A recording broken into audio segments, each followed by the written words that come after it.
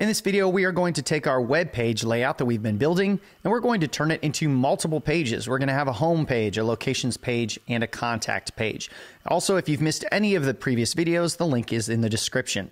So the first thing we want to do is we want to go over to our tab page here and we have our index.html, which is the correct name for your home page. Uh, and then what we want to do is we want to save this, copy it to multiple different pages. So I'm going to do file save as, which as you can see is command shift S let's save as contact.html. Now we have a second page.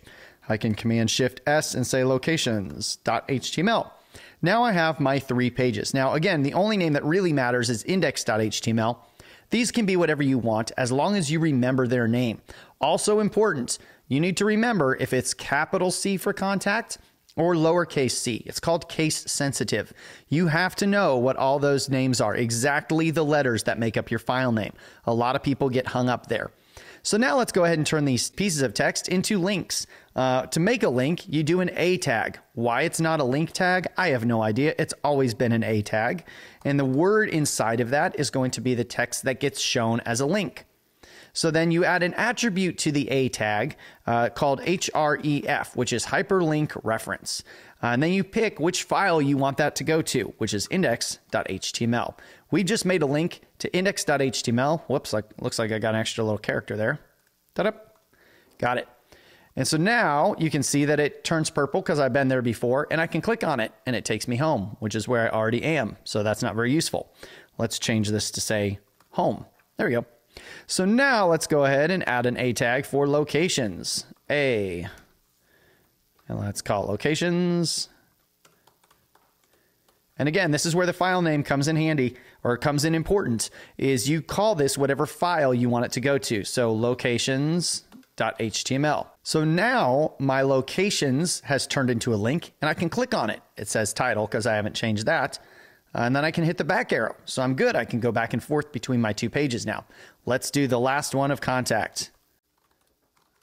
Contact.html, and we'll paste it in there. So now I have three links going to my three pages. Yep, the contact one works as well. So now I can just copy this code, click here, shift click there, and hit Command C to copy. Now I can go to contact and I can paste all this in here, get my links, and I can go to locations and do the same thing. Get my links. While I'm at it, locations, contact. Now I can go to all my pages. Locations, contact, home. Every single page knows how to link back to every single other page. Excellent. So you actually have a couple options here for how you want to lay out your folder. Uh, this works great for a couple pages, but if you had a website with 150 pages, you wouldn't want to see them all down here. You'd want to create folders. Uh, so let's create a folder here and call it pages. Now I have a folder called pages. Let's start moving stuff in there. Yes, I want to move it. Locations. Uh, do you want to move it? Sure, I want to move it. So now if I go to index.html, let's go back to our home here, and I click on locations. It says, hey, I can't get locations.html. That's because it doesn't exist. Uh, this link is automatically going to look for the file in the same directory that my current page is. So I'm in, in I'm on index.html, which is right here, and it's going to look for a locations.html and not find it. So we want it to look in the pages directory. So that's pretty simple. We just tell it pages slash locations.html. And there we go. Now this link will work again. Ta-da! We can get back to locations. And you notice if I'm in the locations page and click on home, ah, I can't get pages slash index.html because I'm on the locations page and I clicked for index.html and that doesn't exist in my folder.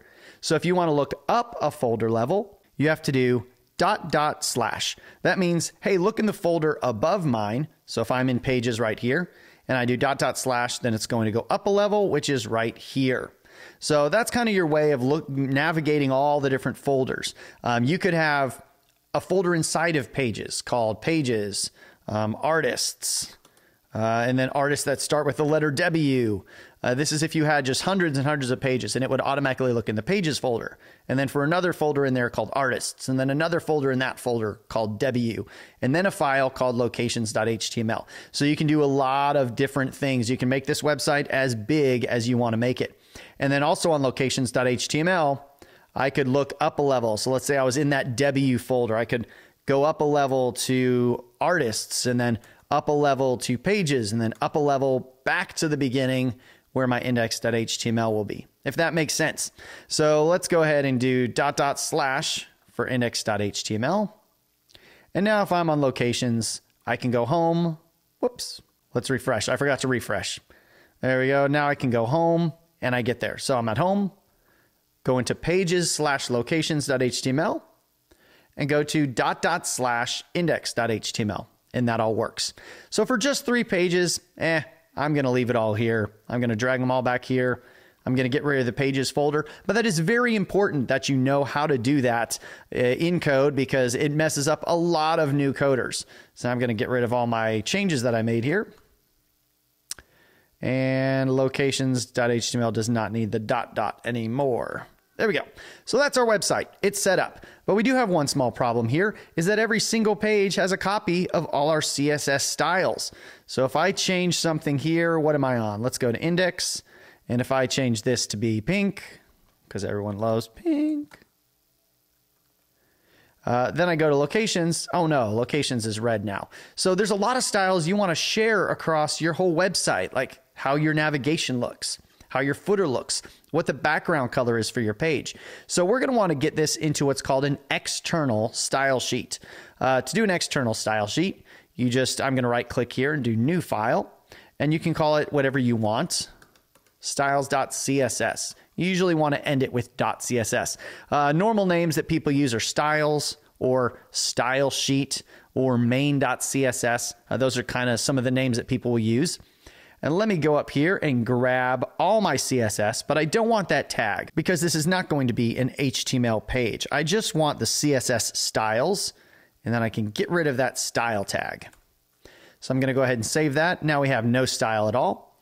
I'm going to paste all of that into the styles.css. Now all I have to do is bring styles.css into all three of my pages. I do that by going to the head. Into the head, I go link. I'm going to add a link tag. I'm going to do link and hit tab. And look, it automatically took care of some stuff for me. rel equals style sheet. That's very important.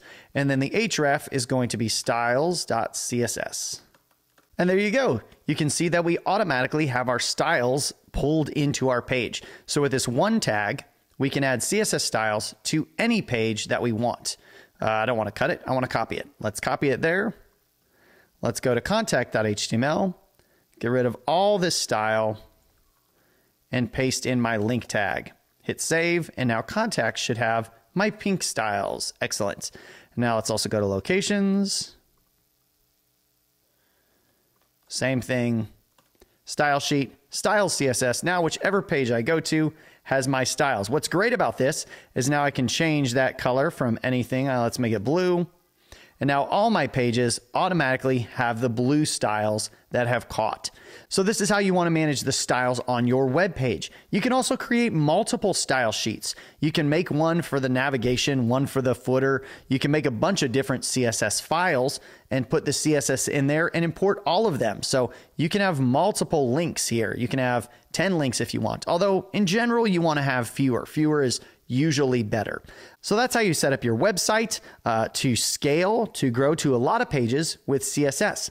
In the next video, we're going to look at how we target things because, again, we've got this problem where this div is going to automatically affect every single div on our whole website. So we are going to want to look at CSS targeting next. That's really going to set us up to build out the rest of our website easily.